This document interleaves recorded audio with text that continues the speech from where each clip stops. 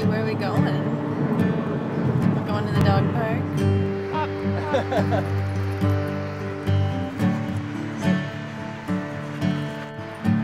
Gracie, find the ball.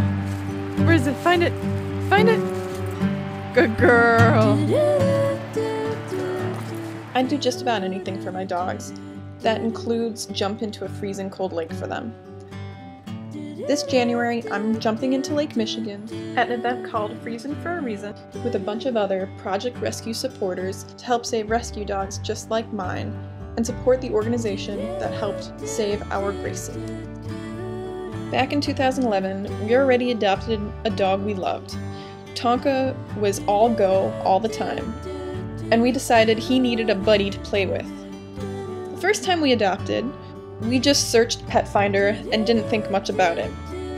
With our second dog, I did a bunch of research about rescues in the city, and Project Rescue made the top of my list. We filled out a thorough application and were very honest about our lifestyle and what kind of dog we were looking for. And Gracie was the first dog PRC suggested for us. Gracie and Tonka met. PRC made sure our home was safe for a dog, and we chose to foster Gracie. Another family wanted her while we were fostering, so we said our goodbyes and dropped her off. It only took the other family one night to realize that she wasn't the right dog for them, so they returned her and we took her back home. When yet another potential adopter wanted to meet her, we finally came to our senses. That is, Sean did, and he convinced me that we needed to keep her, and I'm so glad we did. A few weeks after we adopted Gracie, I was at a PRC event, and when people found out that I had adopted Gracie, they would say things like, Oh, I know Gracie, or Oh, I've been following Gracie's story. I was super confused. I did a search and found Gracie on Trio Animal Foundation's website. I was dumbstruck by the photos. That was my little girl. When Gracie was taken in by Trio and Project Rescue from Animal Welfare League, she was known as Mama Gracie.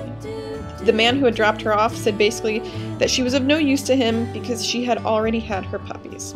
She also had parasites, mange, pneumonia, and only weighed something like 13 pounds. Now, to put that in perspective, she's now a 60 pound dog, and yes, she was fully grown.